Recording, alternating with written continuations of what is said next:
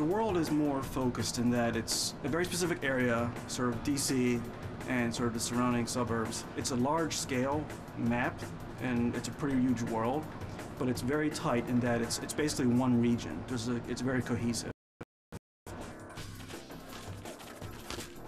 I was thinking of setting it on the West Coast. Um, Emil really pushed. Oh, we should we should do it out here. And I was like, oh, I don't know. I don't know if that has the right Fallout feel, you know. Um, but the more we thought about it, it was, oh yeah, we got to. Who can blow up Washington D.C. better than us? If you look at the Fallout universe, it was necessary to make a split. To take the series where we wanted to go with it, you wanted to get away from the West Coast. You want to get away from the playground that we knew in 1 and 2. So we came all the way over here. It's what we know. And then there's just a lot of great symbolism in having DC in a post-nuclear landscape. There's lots of great architecture that we all know and love from the area, so it was just a natural fit, I think. I spend a lot of my time on weekends going through DC with a digital camera. And when you're going around the White House taking pictures of manhole covers, uh, people want to know why. You're taking pictures of manhole covers around the White House. And I always thought to myself, well, my answer would be very simple. I'm just imagining what this would all look like if it was blown up. We spent a lot of time trying to figure out how the wasteland around here would actually look. Um, and going and visiting buildings they had knocked down in DC. They, they, knock, they knocked down a few buildings and we would go and click, click, click, click, click, click. Um, just to see what destruction down there would look like. For me, uh, a lot of times when you design the architecture, and especially in the sci-fi sense, and then you walk down that street, uh, there's a lot of material for you to play with. Uh, looking at a lot of buildings, I would walk in Adams Morgan and I'd see a cluster of houses and I'd say, wow, that's amazing.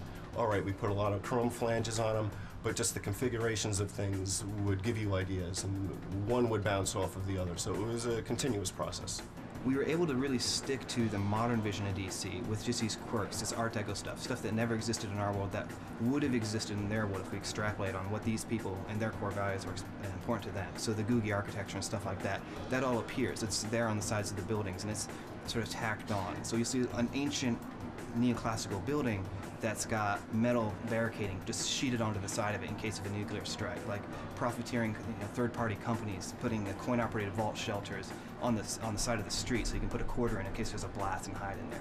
Just lots of neat little things like that that we try to do. The landmarks we use and the flavor of it, if you're from around here, there's enough of it where you get it, but not so much that it's any sort of handicap to someone who isn't. And the fact that we kind of had an alternate history helped a lot. So because the Fallout universe splits around 1950, we could take great liberties with DC. So we have all these books in Washington, D.C. So that the things that were pre the time when we split, we're careful about after that. You know, if a certain thing was built after that, we try actually not even to have it. Or we'll build it in a different way, in a way that we think suits the game better, and our excuse can be, well, in our timeline, they, they built it different. All the majors are there, right? We've got the Jefferson, plays a big part the Washington, the Lincoln, the Capitol, the White House. Uh, more contemporary stuff like the Air Force Memorial obviously wouldn't be there in their world. But we do try and capture inspirations of some things. We have so much fun doing this. It's like it's almost a guilty pleasure for us. It really is the best job in the world. So it's like you feel kind of guilty in the game or like in the Capitol building fighting super mutants and like you know body parts are blowing up and it's just a big joke. You know what I mean? It's just it's pure escapist entertainment. It's crazy, and you, you try not to get wrapped up on the seriousness of it. It's a massive world, and there's a lot of small elements that have to be individually created, which will all come together at some point to sort of finish off the spaces, all the cluttering, all the architecture, all the environments, the lighting, the effects. There are so many elements, and that, you know, a lot of it is just kind of, you know, guessing, okay, the, the whoops. that was a big one.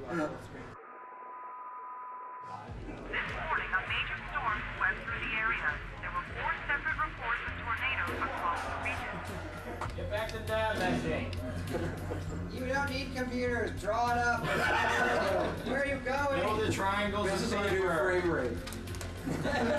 we had some electric storms pass through and uh, basically down power lines, trees went down. It was pretty insane. We uh, lost power for a good, I would say about 8 to 10 hours. It happened around 3 o'clock yesterday.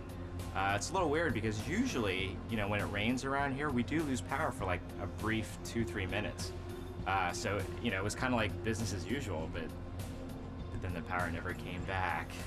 At this point, I don't, I don't see a lot of changes affecting like, you know, data side. No one should be waiting on that. And if, it, if it's that important, we'll, we'll, you know, we'll bring it. We have a big milestone coming up next week. So that meeting actually was all about how do we get the game ready for this milestone. And, you know, there are people who will stay here as late as they need to and to get stuff done. We've had stuff like this happen before. We've put builds on planes and flown people, you know, to save time. It's amazing the things that you'll do to get things done. Uh, when the power went out the other day, uh, a bunch of us went over to the like, let's get out of here. The power's out. So we went over to the supermarket, and the power was out there, but they, they had enough emergency power to run the cash registers. So they're feel free. You can buy whatever you want, but all of the aisles are dark. So I start walking the aisles, and I, I you know, do you have like a, you know, Starbucks bottle thing? Somebody, I need some coffee. So we start wandering the aisles. It's all pitch black, and I'm using my iPhone as like a flashlight. Um, and I and I said to one of the guys like, "This is how the world ends, man. This is cool. Like we're in the game. Like what else should we get?" And one guy's like, "Antibiotics." you know, like get antibiotics before food, and we're like working it out in the aisle at Safeway. Just the other day. So yeah, sometimes it creeps in your head.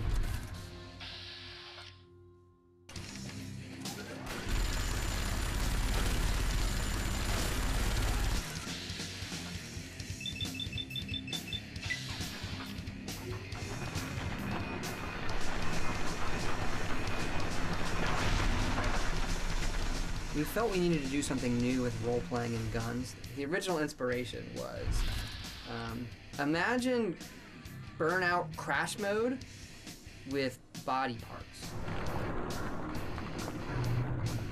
And we talked about it, um, and then Emil came up with the name.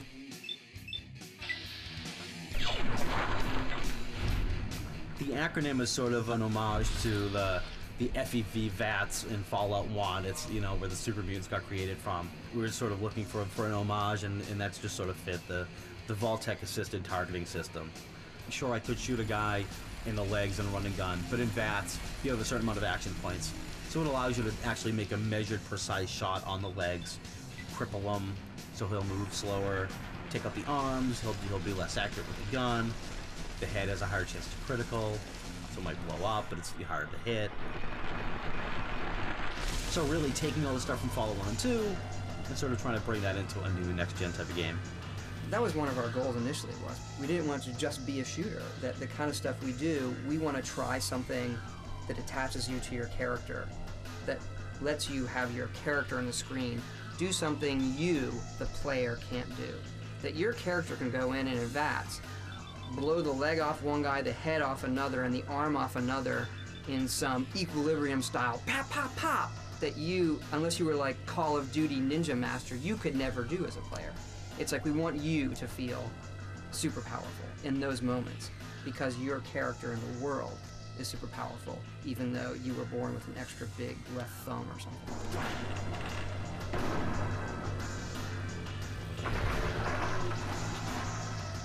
Todd's fond of saying that great games are played, not made, and that's certainly true because we knew what we wanted to do with it. We knew we wanted to have the ability to queue up shots at somebody on specific parts of their bodies and then play that back in a cinematic fashion.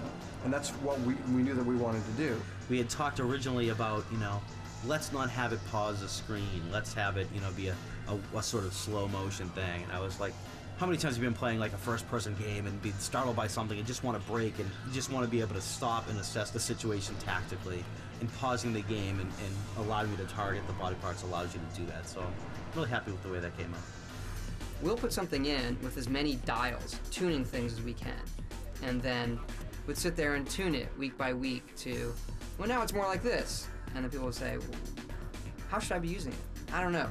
Go use it, and then tell us what you think. Um, and the one thing everybody loved were, were the playbacks, you know, when people died in fabulous ways or showed your character doing something really cool.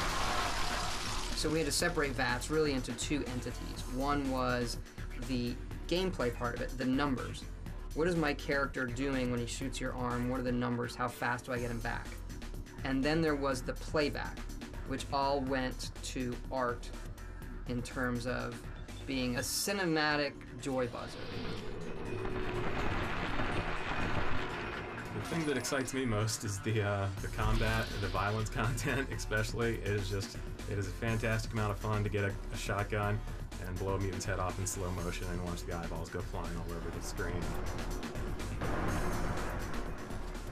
The mandate was to push it really far over the top. We didn't want it to be realistically disturbing. We wanted it to be cartoony. I've done a lot of it. I haven't done it all. Our previous character lead, thankfully, the person who actually scoured websites and found uh, a lot of the photo reference that we wound up having to use. Awful stuff. Don't recommend it. Um, and people were walking by and uh, getting very, very, very, very sick and telling me that I should, you know, put a warning up. And so I did because I thought it was funny. I'm a big believer that if you can make in a game like this where you're killing lots and lots of things, if you can make that repetitive action really entertaining, like that's where the rubber meets the road in a lot of these games. So this is something I know the player's going to do 10,000 times. Make that as entertaining as you can, and the rest of it is pretty much great. So we spent a lot of time just on that moment. How does it sound? What is the physics like? What's the camera like? And then adding lots of cameras so it doesn't get repetitive. I think it really adds something that's really fun and entertaining to the game that we haven't really seen before. Our game is primarily first person, so when you have guns in first person, you, you, the bar has been raised. But it's tough because we're an, we're an RPG, not a shooter. So it's a mixture of it's not just the player skill, it's your character skill too. Uh, the first thing we did was we took a bow and arrow from Oblivion and we made a bow and arrow gun that shot rapid fire arrows, and it didn't quite work right. Uh, so we had to we had to build up that whole system from scratch. Uh, the hardest part has definitely been how you do gun combat within an RPG, how your stats affect your aim, affect your damage. Uh, we've been over that hundreds and hundreds of times, how much the guns spread, how much damage they do, and trying to make you feel like you're getting better as you get more powerful. It's not like Oblivion, you level up automatically uh, because it's an experience point based game, so that will happen organically as you play the game. You have different weapon skills too, so a small handgun is determined by the small gun skill. So if you jack that skill up, uh, you know, a small handgun will be pretty damn effective. You know, it, it fires more quickly, you'll get more sh shots off in fast. It's a constant balancing act for us to find that right balance between, you know, RPG skill and player skill and making the guy take long enough to die but have it feel realistic too. The designers made a lot of decisions about what they wanted to do um, in terms of the weapons. We had some fantastical sort of weapons that we made that are fun, like we have a weapon that shoots junk. You just junk, random junk you collect around the world, um, and you just load it up into it, and you can shoot out teddy bears and you know, and tin cans and typewriters and that sort of thing. But in terms of how to make them work realistically, most of that was just playing the game. Um, we have a lot of numbers, we can adjust the numbers. Um, how fast does this weapon fire? How long does it take to reload it? Um, what sorts of ammo does it take? The animations and all that are all done by the art department, but mostly it's feel in terms of how the weapon works, as opposed to this is exactly how this particular weapon in the real world fires. Um, you want to make it, you know, again, you want to make it fun to play and compelling to play. What we definitely wanted to do with the gun stuff is not do everything that everyone else has done. So, you know, we have some weapons that you can craft and some unique weapons, you know, like the railway rifle that shoots railway spikes, and, you know. So we had a lot of fun with doing that type of stuff. Our lead artist, Istvan, that guy's from Mars, man. He can do anything. And he designed a lot of the guns, the laser rifles. You could build that thing. He knows how it works it's that part of it that I think maybe people don't see behind the scenes when we when we concept the stuff, you know. And we know what the knobs do.